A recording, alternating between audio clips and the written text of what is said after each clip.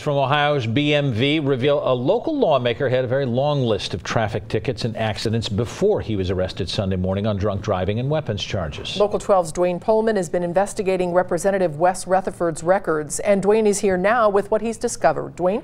Yeah, this is Representative Wes Retherford's driving record. It's filled with a dozen traffic citations and seven crashes in the past 16 years. Now, I received this report after I sent an open records request to Ohio's Bureau of Motor Vehicles. Still, none of these citations comes close to the charges the elected lawmaker now faces.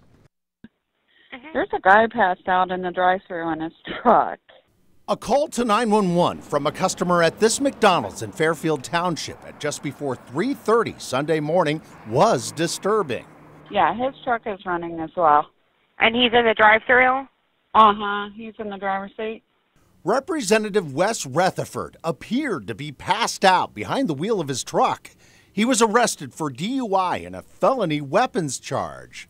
The arrest report states Retherford appeared to be confused and that a loaded Glock Model 23 was located under the armrest of his truck.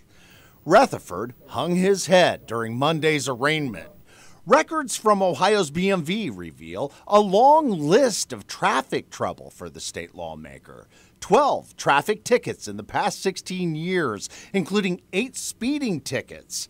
The most recent citations were issued in 2014 for going 86 in a 65 mile per hour zone in Fairborn and 97 miles per hour in a 70 mile per hour zone in Franklin County. Retherford was also cited twice for not wearing his seatbelt.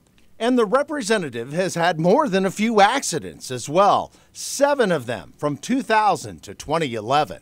Still, nowhere in Retherford's report is there a citation for drinking and driving.